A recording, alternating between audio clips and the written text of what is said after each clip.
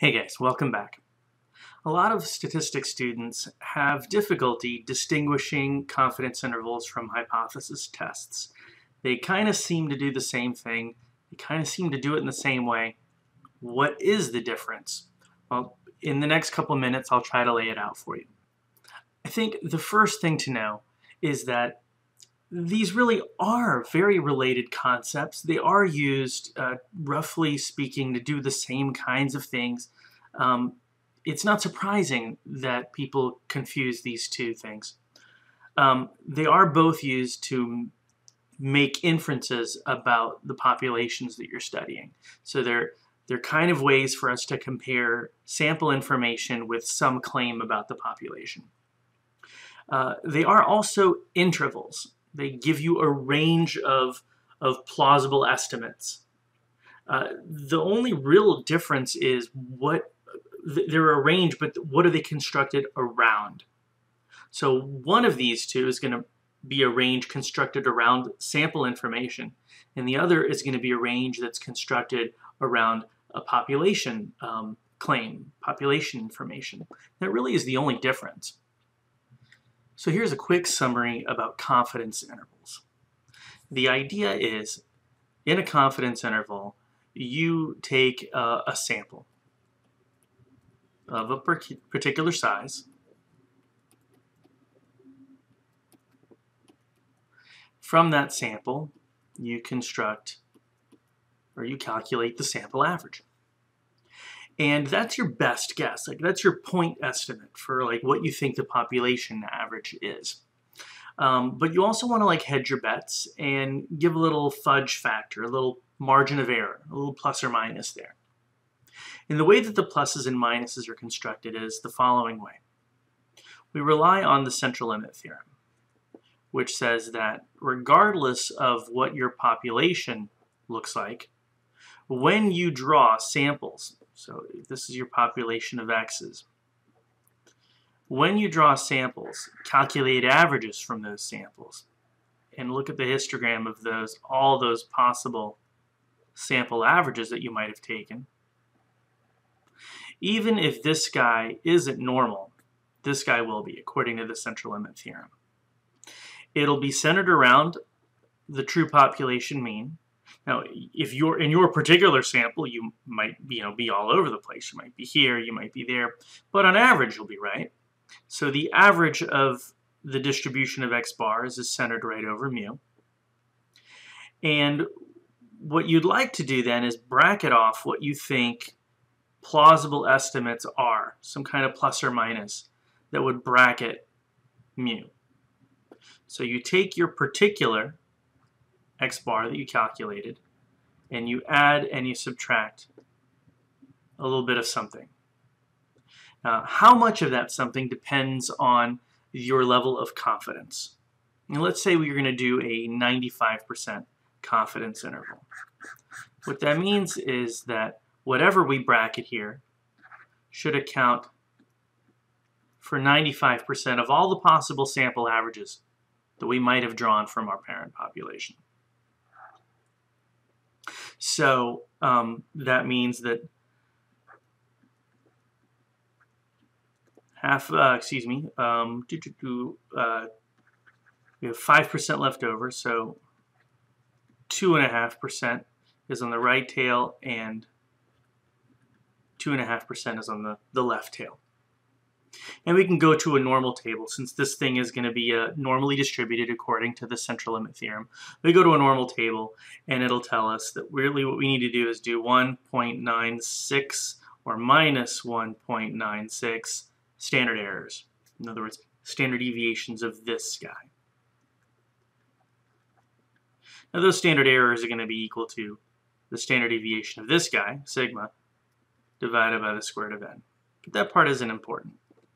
What's important though is that when you're constructing a confidence interval, what you're doing is you're taking your particular point estimate and you're adding and subtracting a certain number of standard errors.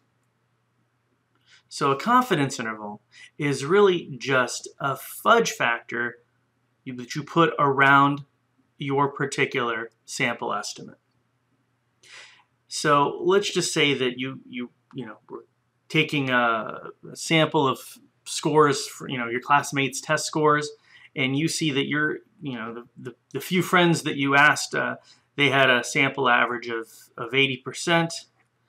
Um, but some had above and some had below, and so the range there would be, let's say, 75 and 85. Now, this is your range estimate for what you think the class average on that test is. And if someone were to come up to you and say, you know what, I don't think so. I think that the class average on that midterm that you guys took was, um, was a 70. Then you really would be skeptical of that claim. Because from your sample evidence, you're willing to go as low as 75 and as high as 85 but you're really not willing to go as low as 70%. And so you would reject a claim that the population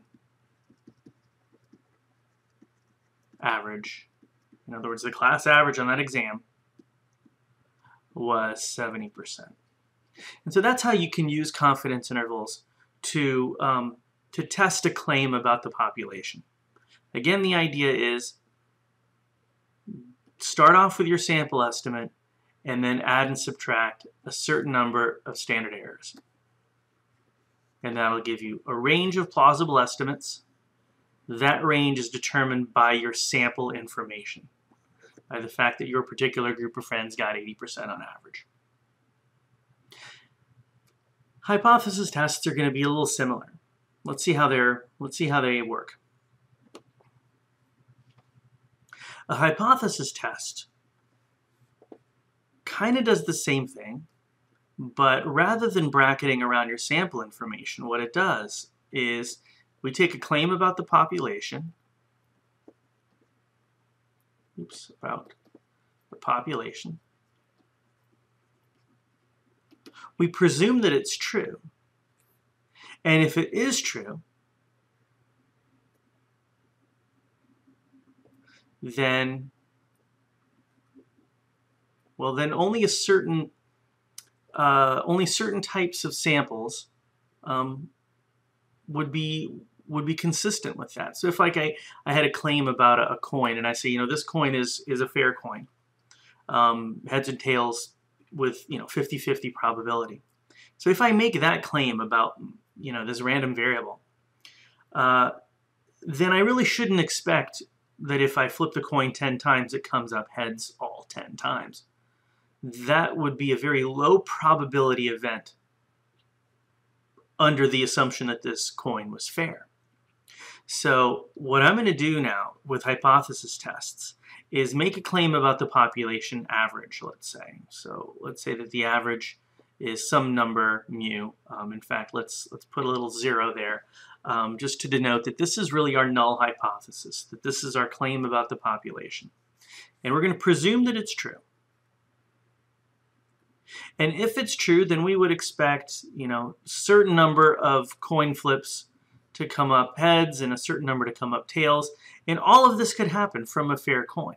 So we're going to take our 50-50 you know, coin flips and say, well, you know, it could be a little bit less and it could be more in a sample when we flip those coins. So ultimately what we'll have with our hypothesis test then is our hypothesized amount plus or minus, well now we need to know how much plus, how much minus. In our last example we had 95% and so we know that if we're looking at uh, you know, how many standard deviations to the right and to the left will give us a 95% interval, we know that's 1.96. And now we need to have so many standard deviations or standard errors since we're talking about the distribution of averages. So we call them standard errors. So this is how we define the acceptance region in a hypothesis test. So let's write that down. This is our acceptance region.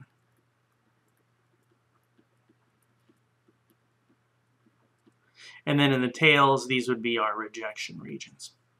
So the acceptance region looks just like a confidence interval for a hypothesis test. Uh, confidence interval. The hypothesis test is not constructed around x bar, it's constructed around this claimed population parameter. And the way you do the hypothesis test is after you've constructed this range of plausible values that are consistent with this hypothesis, then you go out and you collect a sample.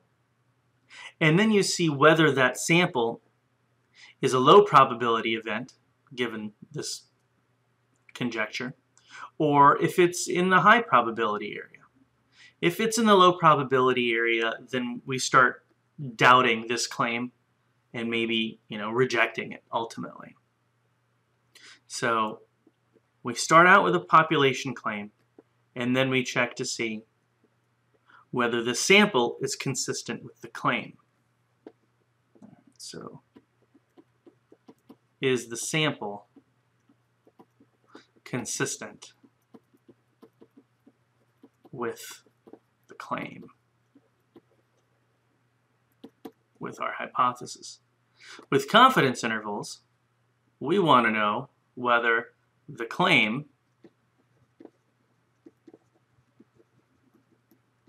is consistent with our sample information.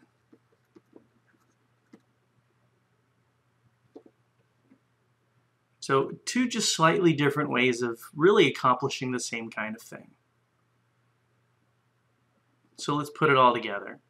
With confidence intervals, we construct a plus or minus certain number of standard errors around the sample information, and then we see whether a claim is consistent with this. With hypothesis tests, we construct the same plus or minus interval, but we do it around a hypothesized claim. And then we check whether our sample is consistent with the claim.